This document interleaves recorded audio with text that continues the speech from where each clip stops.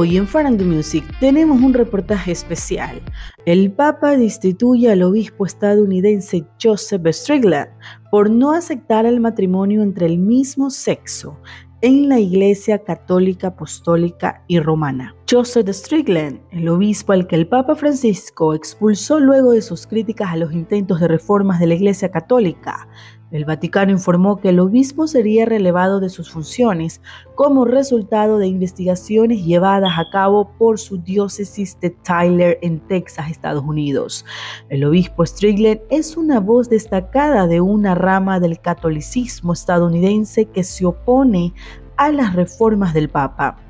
Su destitución tiene lugar después de que el sumo pontífice hablara del atraso de algunos líderes de la Iglesia Católica estadounidense.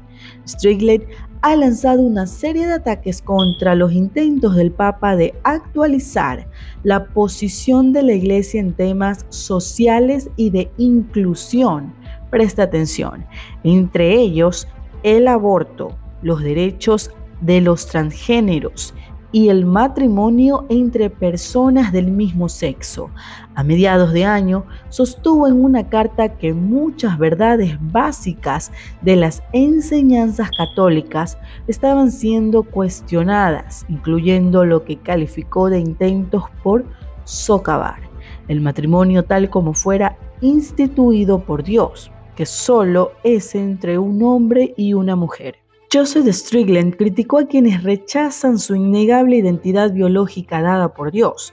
Su misiva sugería que los intentos por cambiar aquello que no se puede cambiar llevarían a un cisma irrevocable en la Iglesia.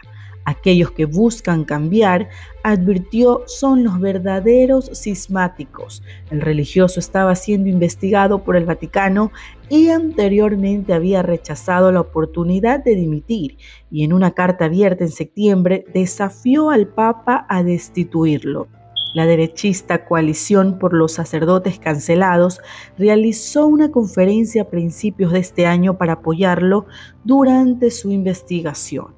El Vaticano dijo que la decisión de expulsarlo se tomó después de una visita apostólica ordenada por el Papa de la diócesis de Tyler el pasado junio. El obispo Strickland de 65 años fue nombrado obispo en el 2012 durante el papado del Benedicto XVI. La confrontación surgió en relación a los intentos del Papa de hacer que la Iglesia sea más progresiva durante su papado. El jueves, el Vaticano anunció que las personas transgénero pueden ser bautizadas en la Iglesia Católica si esto no provoca un escándalo o confusión. En octubre sugirió que la Iglesia estaría dispuesta a bendecir a las parejas del mismo sexo, cuando le dijo a un grupo de cardenales que no podemos ser jueces que solo niegan, rechazan y excluyen. Durante una alocución en las celebraciones del Día Mundial de la Juventud en Lisboa, el Papa dijo que el atraso de algunas personas era inútil. Al hacer esto, pierdes la verdadera tradición y recurres a las ideologías para tener apoyo. En otras palabras, las ideologías reemplazan la fe. El cambio climático también ha sido un pilar clave de su papado. Desde un documento histórico sobre el medio ambiente en el 2015 hasta las advertencias recientes de que el mundo puede estar acercándose a un punto de quiebre por el cambio climático. El Vaticano dijo que la diócesis de Tyler será administrada temporalmente por el obispo Joe Vázquez de Austin. Strickland fue uno de los críticos más destacados del Papa Francisco. El argentino de 86 años ha buscado forjar una iglesia más compasiva, abierta a diferentes puntos de vista. Sin embargo, ha enfrentado una intensa oposición de críticos, particularmente en Estados Unidos, que lo acusaron de causar confusión y de no defender creencias católicas clave. En un mensaje a principios de año, en la red social X, antes Twitter, Striller acusó al Papa de socavar el depósito de la fe. En un blog publicado en su sitio web en septiembre, el obispo abordó los rumores de que el Vaticano lo estaba alentando a renunciar. No puedo dimitir como obispo de Tyler porque eso equivaldría a abandonar a mi rebaño. También he dicho que respetaré la autoridad del Papa Francisco si me destituye de mi cargo como obispo de Tyler. Amo a Jesucristo y la Iglesia Católica que Él estableció. Mi único deseo es decir su verdad y vivir la voluntad de Dios lo mejor que pueda, agregó. Cabe recalcar que cuando el obispo Omar Cardinal Reynard March, abiertamente gay, renunció oficialmente en mayo del año pasado, en una carta a Bergoglio, nombre artístico de Francisco, March dijo que presentaba su renuncia por las siguientes razones.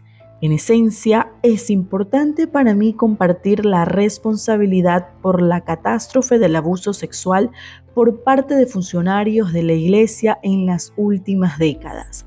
También insistió claramente en que la homosexualidad no es un pecado. A lo que en ese mismo momento el obispo Strickland entró en la refriega retuiteando un tuit Ahora sabes por qué la USCB lo nombró presidente del comité del diácono Keith quien llamó a March al arrepentimiento, diciendo, estás abrazando, enseñando y promoviendo el veneno de la herejía.